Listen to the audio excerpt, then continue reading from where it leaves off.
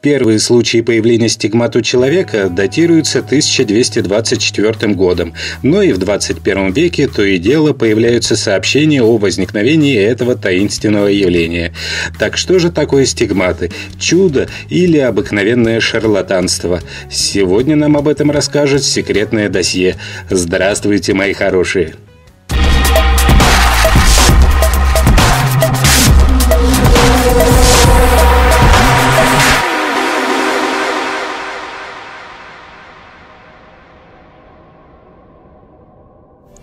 Шел 1874 год. Это была Страстная Пятница, день накануне великого христианского праздника Пасхи. В одном из рабочих кварталов бельгийского городка Буаден с самого утра происходило что-то странное.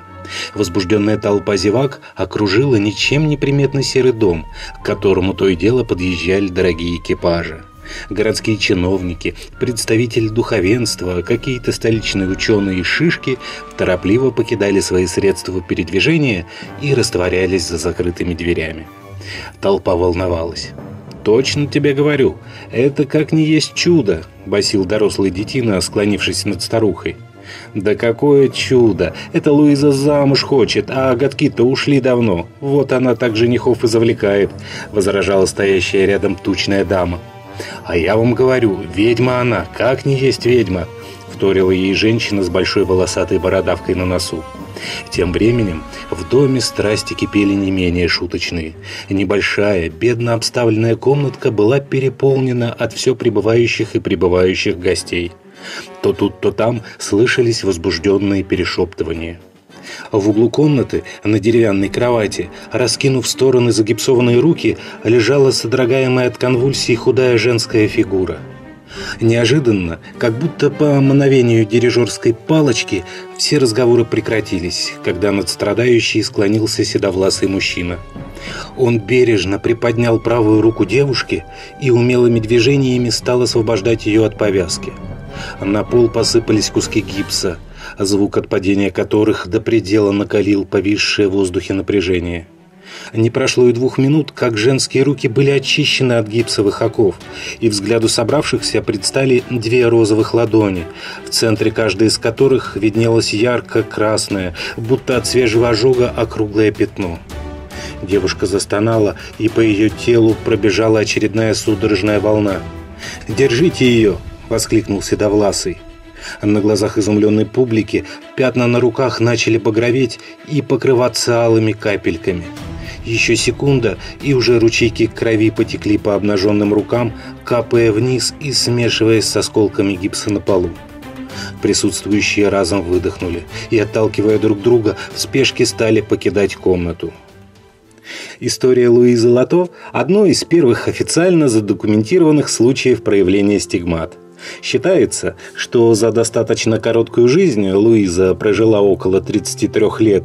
Стигматы покрывали тело девушки более 800 раз. Так что же такое стигматы?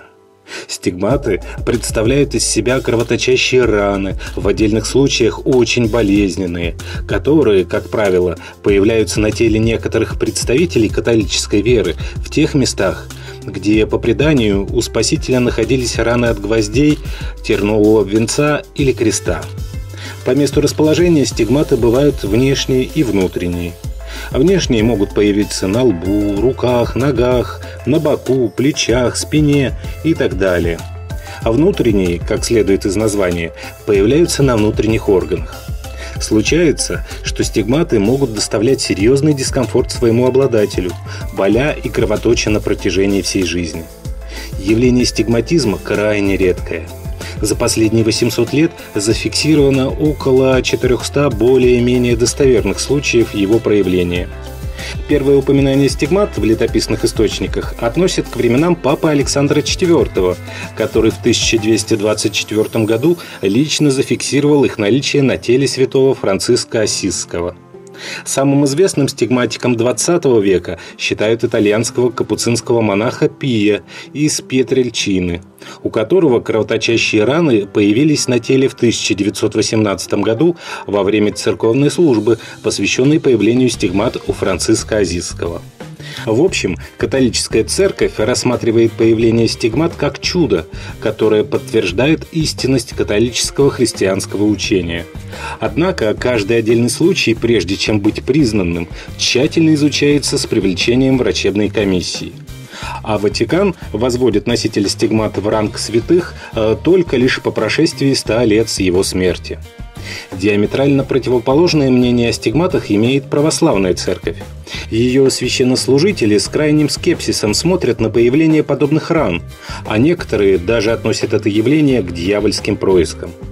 Официальная позиция Русской Православной Церкви стигматы – это чувственное явление и никакого отношения к Богу и божественной благодати не имеет. Повторение ран Христовых не имеет смысла и смело может считаться богохульством, ибо, согласно Писанию, Христос взял на себя болезни и раны всех людей. Действительно, а на сегодняшний день стигматизация наблюдается только в традиции католицизма. Православие за две тысячи лет своего существования не знает ни одного примера их появления. А что же представляет из себя стигматы на самом деле? И как современная наука и особенно медицина расценивают этот феномен? Во-первых, часть случаев стигматизма можно отнести к банальной имитации, именуемой в медицине синдромом Мюнхгаузена – это довольно редкое психическое расстройство, при котором человек искусственно вызывает у себя симптомы болезни с целью привлечь внимание, получить моральную или физическую поддержку со стороны окружающих.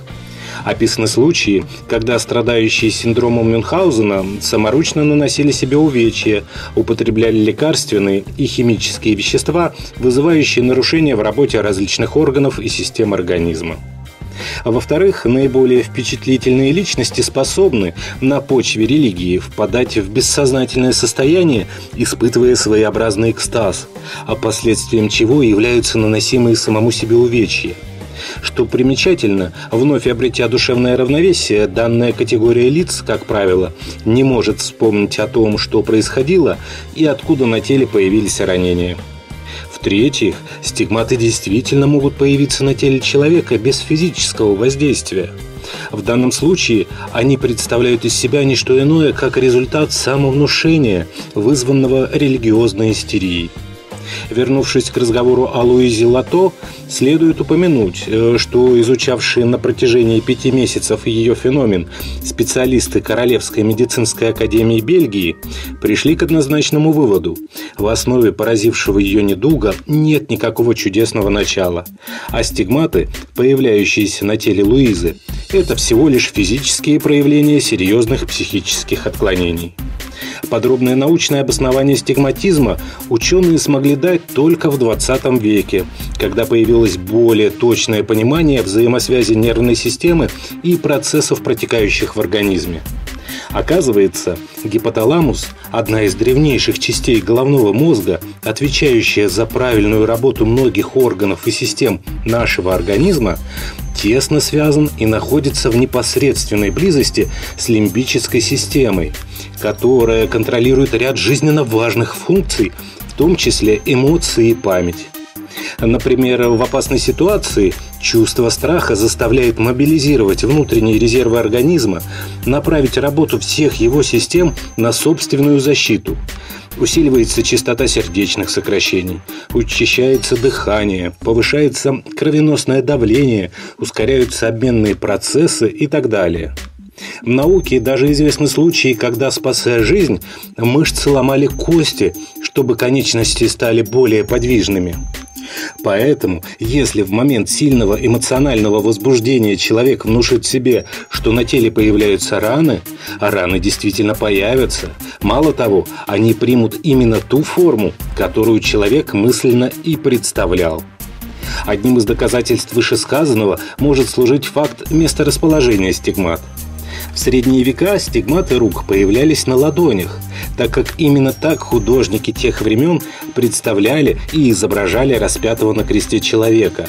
Однако на самом деле хрупкие кости кистей не могут выдержать вес тела, а по этой причине во время казни распятием гвозди забивались в запястье. В современном мире данный факт стал широко известен, и как закономерность стигматы, повинуясь воле своих обладателей, перекочевали с ладоней на запястье. Говоря об анатомии стигмат, очень любопытен факт того, что, как правило, при более пристальном рассмотрении стигматы представляют из себя всего лишь имитацию травмы. К примеру, синяки на поверку оказываются вздувшимися под поверхностью кожи венами – Вызвать появление стигмат можно и искусственным путем, введя человека в гипнотическое состояние. Например, погруженному в гипноз можно внушить, что сейчас мы прикоснемся к его телу горячим предметом и от противного положить ему на руку кусочек льда.